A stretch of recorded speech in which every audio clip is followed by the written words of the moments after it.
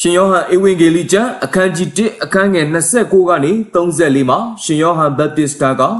ယေရှုဖျားရှင်ကိုညွှန်ပြတယ်။ဘုရားသခင်ဤသုံးငယ်တော်ကိုကြည်ကြလော့။လောကသားတို့ဤအပြစ်ကိုချွတ်တော်မူသောအရှင်ကိုကြည်ကြလော့။သုံးငယ်တော်သည်ကျွန်တော်တို့အတွက်ပူဇော်ခြင်းခံရသောပါစကာသုံးငယ်တော်ဒီဟုသော ခရစ်တော်ဖြစ်ပါတယ်။ငါတို့ဤပါစကာသုံးငယ်တော်ဖြစ်သောခရစ်တော်သည်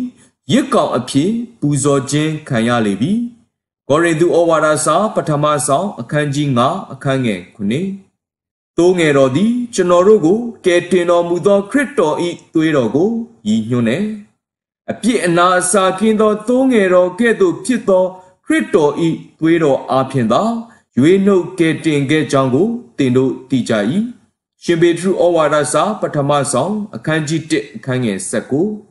သိုးငယ်တော်သည်ဖျားသခင်ဤသိုးငယ်တော်ဖြစ်တဲ့လူရဲ့သိုးငယ်မဟုတ်ဘူးပူဇော်ခြင်းကိုပြုဖို့ဖျားသခင်ပေးသောသိုးငယ်တော်ဖြစ်ပါတယ်ကဘာဦးကျမ်းအခန်းကြီး22အခန်းငယ်8မှာပူဇော်ခြင်းအမှုကိုပြုဖို့ဤဇက်အစာသိုးငယ်ကို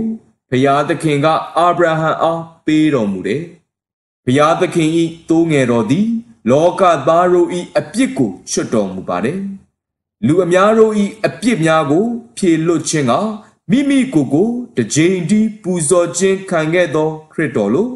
ဟေဘရဲဩဝါဒစာအခန်းကြီး9အခန်းငယ်28မှာဖော်ပြထားတယ်။ယိုးငှက်မှာယူတို့အတွက်တန်ရှင်သောတတ္တဝါဖြစ်ပါတယ်။ငြိမ်းချမ်းခြင်း၊နုညံ့ခြင်း၊တန်ရှင်ခြင်းအပြစ်ကင်းခြင်းတို့ကို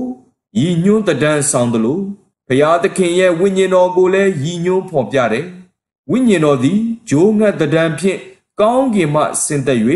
သူ့အပေါ်၌နားနေတယ်။တန်ရှင်သောဝိညာဉ်တော်သည် ကောင်းကင်မှဆင်းလာက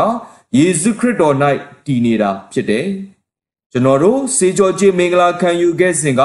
ထိုနည်းတူပဲဖြစ်ပါတယ်။ကျွန်တော်တို့အပေါ်တန်ရှင်သောဝိညာဉ်တော်ဆင်းသက်ပြီးတန်ရှင်သောဝိညာဉ်တော်ကျွန်တော်တို့၌တည်နေတော်မူပါတယ်။ သင်တို့အားလုံးကိုဖျားသခင်ကောင်းကြီးပေးပါစေ